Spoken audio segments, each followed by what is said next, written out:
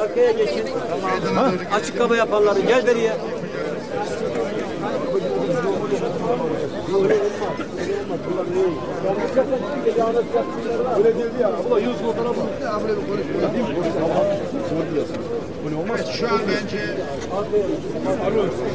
Biz sendika disk gıda işi olarak yıllarca mevsimlik çalışan arkadaşlarımızın kadro alması için mücadele verdik. Vermeye de devam edeceğiz. Bunu ne kadar engelleseler de engellesin. Biz bu meydanlarda ta ki kadro talebimiz karşılanana kadar buralardayız. Sizler bizden var mısınız? Yolunuz, yolumuz açık olsun, gazamız mübarek olsun. Bu, bu, bütün Çaykur'da çalışan arkadaşların mevsimlik yaşamak ne kaderidir ne de hakkıdır. Mevsimlik yaşamak istemiyoruz. Mevsimlik yaşamak istemiyoruz. Hepinizi saygıyla, sevgiyle selamlıyorum. Çaykur'da çalışan mevsimlik işçi arkadaşlarımızın bir talebi var. Diyorlar ki biz 12 ay boyunca kira ödüyoruz. 12 ay boyunca elektrik, su, doğalgaz faturaları ödüyoruz. 12 ay boyunca markete, bakkala, manava gidiyoruz.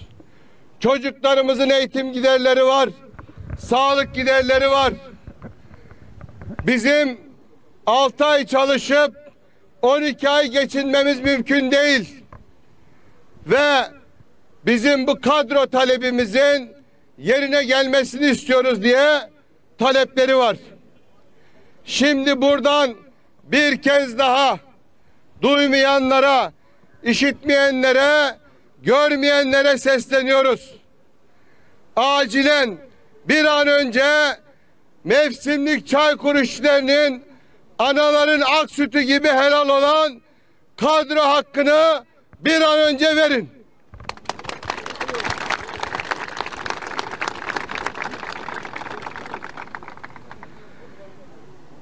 Değerli arkadaşlar, Türkiye'de uzun yıllardır taşeronlaştırma, alt işverenlik ve mevsimlik çalışma çok yaygın. Biliyorsunuz bundan önce kanun hükmünde kararnameyle kamu kurumlarındaki bazı arkadaşlarımız kadroya alındı. Ama bugün halen Türkiye'de Çaykur'da dahil olmak üzere kadroya alınmayı bekleyen 500-600 bine yakın işçi arkadaşımız var. Bu işçi arkadaşlarımız bütün diğer işçi arkadaşlarımız gibi kadrolu olarak çalışmak istiyorlar. Ama ne yazık ki bugüne kadar kadro talebimizi görmezden, duymazdan geldiler. Ne zaman işçi arkadaşlarımızın sesi yükselse, ne zaman kadro talebiyle ilgili sokağa çıksak, mücadele etmeye kalksak hemen bizleri provokatörlükle suçluyorlar. Değerli arkadaşlar, biliyorsunuz bundan yaklaşık 10 gün önceydi. Buradaki sendikanın kapısına yüzlerce işçi arkadaşımız kadro talebiyle oraya gitti. Dediler ki bu işçiler buradaki provokatörlük yaparak çay kuru karıştırıyorlar. Tabii kendilerinin tuzu kuru. Kendileri 12 ay boyunca maaş alıyorlar. Kendileri 12 ay boyunca her türlü şatafat ve lüks içerisinde yaşıyorlar. Ama söz konusu mevsimlik işçilerin çalışma ve ücret alma koşullarına gelince de işçi arkadaşlarımızı provokatörlükle çay kuru karıştırmakla suçlamaktan geri kalmıyorlar. Buradan diyoruz ki işçi arkadaşlarımızın kadro davası haklıdır, meşrudur, yerindedir. Sendika olarak da buradaki Rize'deki demokrasi güçleri, emekten yana insanlar, siyasi partiler olarak Çaykur'da kadro verilene kadar bu mücadeleden asla vazgeçmeyeceğiz, asla durmayacağız. Bu mücadelemizi sürdüreceğiz. Bunun da böyle bilinmesini istiyoruz. Şu ana kadar iktidar partisinden bize gelen, bize söylenen Çaykur işçilerini kadroya alacağız diyen bir yaklaşım olmadı. Sayın Cumhurbaşkanı buralı. Hayati Yazıcıoğlu buralı. Buradaki insanların sorunlarını çözmek onların da görevi. Bu nedenle diyoruz ki Çaykur işçisi kadro almadan, güvenceli çalışmadan bu mücadelemiz asla ve asla bitmeyecek sevgili arkadaşlar. her şeye rağmen, her türlü baskıya rağmen ve işten atılma korkusunu işlerinde yaşamış olmalarına rağmen bugün buraya gelen Çaykur'da çalışan mevsimlik işçi arkadaşlarımı saygıyla selamlıyorum. Bugün olmasa bile yarın Çaykur işçilerinin kadro sorunu çözülecek. Ama inanın ki bu kadro sorunun çözülmesinde bugün buraya gelen, buraya gelememiş olsa bile sürekli bizleri arayıp bilgi veren, taleplerinde bulunan Çaykur'un değerli işçilerinin sayesinde olacaktır. Çünkü mücadele etmeden hiçbir şeyi kazanma şansımız yok. Hiçbir şeyi kazanma şansınız da yok. Biz yaklaşık olarak 15 gündür Rize'nin ilçelerinde sürekli basın açıklaması yapıyoruz. Üç konuyu dile getirdik. Bir, Çaykur'un işçileri, mevsimlik işçilerine kadro verilsin. İki, üreticiyi mağdur edecek, Çaykur'u yok edecek, çay tarımını yok edecek, Çaykur'u varlık fonundan çıkarmayacak olan, çay kanununa karşı olan tepkilerimizi dile getirmek için sürekli açıklamalar yaptık. Kadro hakkı herkesin hakkıdır arkadaşlar. Çaykur'da çalışan işçilerin 6 ay çalışıp 6 ay açlığa mahkum edilmeleri kabul edilemez. Sizler 6 ay çalışıyorsunuz ama diğer ikinci 6 ayda çalışma hakkınız yok. Başka hiçbir yere gidip çalışamıyorsunuz. Dünyanın neresinde böyle bir uygulama görülmüş? Biz bunları talep ettiğimiz zaman, biz bunları söylediğimiz zaman kaynak nereden bulacaksınız diyorlar. Biz 8 tane 8 ilçede de aynı şeyi söyledik. Burada da aynı şeyi söyleyelim. Bakın sarayın günlük masrafı 10 milyon, aylık masrafı 300 milyon. Sarayı 3 ay kapatırsanız 9300 tane Çaykur'un mevsimlik işçisine kadro verirsiniz. Çok fazla sağa sola gitmeye, sağa sola örnek vermeye gerek yok.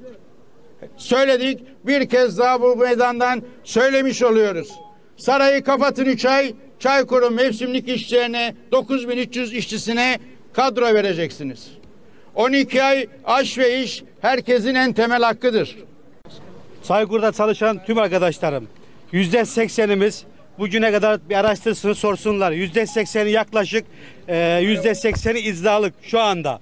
Gitsin muhasebeye bir baksınlar. Nerede bir iş sorunu yok ya? Nerede yok? Nerede? Bunu bana anlatır mısınız? Yüzde seksenimiz izdalık ya. 6 ay çalışıp adam ancak kredi kartlarına yatırabiliyor. Ondan sonra ne olacak bir 6 ay? 6 ayda az kalıyor bu insanlar ya. Bunu araştırmaya araştırsınlar bir sorsunlar bakalım. Yalan mı? Doğru mu? Gerçek mi? Herkes burada muhasebesi var. Bütün fabrikalarda muhasebeciler var. Hepsini araştırsın baksınlar. Yüzde sekseni izdalık ve izdalık olma durumunda. Nasıl aç değiliz ya? Nasıl aç değiliz? Bunu bana anlatır mısın? Yeter daha. Yeter arkadaşlar. Bunu anlatmaya gerek yok. Biz Saykur'a 6 aylık evet sözleşmeyle 6 aylık çalışmak için girdik. Fakat geri kalan 6 ayda maalesef ki hani çalışamıyoruz ve çalışamadığımız için de kendi e, e, ihtiyaçlarımızı karşılayamıyoruz. Bu nedenle devletimizden ve yetkili mecralardan istediğimiz tek şey bizlere sahip çıkması, bizlerin 12 ay boyunca gerçekten çalışması ve yemek yiyebilmesi. Biz gerçekten yemek yiyemiyoruz. Biz diğer kurumlara göre çalışamıyoruz bile. Bizim elimiz ayağımız Saykur. Biz Saykur'dan istediğimiz tek şey bizim 12 ay boyunca bir fiil çalışabilmemiz. Ben Çaykur çalışanıyım ve kadro istiyorum. Gerçekten geçinmek zor bu zamanda. İnşallah bize verin. Eğer bize kadro vermezse bu sene buradan 3 milletvekili çıkmayacak. Garanti net. Ben Çaykur çalışanıyım. Bunun adını veriyorum. Hiç kimse buradan AKP'den millet milletvekili beklemesin. Kusura bakma. Eğer sen ekmeğinin peşine koşuyorsan biz de ekmeğimizin peşine koşuyoruz. Üç, üç, üç milletvekili istiyorsan ya bize kadro ya oradan aşağı in. Bugün yanımızda olması gereken sendika Çaykur'da bu insanların hakkını aybaşı cebine koyan o sarı sendika dediğimiz Ozgüdaş sendikasıdır. Onların yöneticileri nerededir? Hak iş nerededir? Çıkıp meydanlarda yalandan kamuoyuna konuşmaları, bu insanları aldatmaklar artık yetti. Bu insanlar daha kimseye kanmıyor. Bitti. Ozgüda palavraların bitti. Bu kadardı. Yeter. Sen gelirken aidat, aidat ne sözü verdin bu insanlara? Maaşın, şey aylığın, günün yarısı, günlüğün yarısı o da netten. Şimdi ne yapıyorsun? Bir maaş, günlüğün brutundan alıyorsun. Bu da benim maaşımdan 550 lira sen brutten aidat alıyorsun. Yazık günah değil mi? Yazık günah değil mi? Sen neredesin şu anda? Ee, ben engelli olarak Çaykur Çay Fabrikası'na işe girdim aşıklar. 6 ay çalışıyorum ve 6 ay sonra bana gelip diyorlar ki başka işe gidiyorum. Bana diyorlar ki sen engellisin. 6 ay sonra nerede çalışacağım, ne yapacağım? Ben engelli halimle hangi kuruma, hangi yere gideceğim? Ben kimseye niye açıklayamıyorum? Engelli olarak niye hiçbir yere giremiyoruz? 6 ay çalışıyorum fabrikada. 6 ay sonra gidiyorum.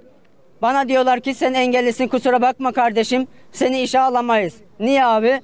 İşte sen engellisin ve Çaykur'da gözüküyorsun. Ondan dolayı seni işe alamayız. E peki 6 ay sonra ne, ne, ne yiyip ne içeceğim? Neyle geçineceğim ben? Sizin tabii yeri, keyfiniz yerinde. Alıyorsunuz maaşı 12 ay, oturuyorsunuz yerinizde. Peki bu kadar Çaykur'da çalışan 6 aylık işçi neyle geçinecek? Kiraya mı versin, doğalgaza mı versin? Suya mı, faturaya mı? Yiyeceğe mi? Neye versin? Neye versin? Bunu açıklayın.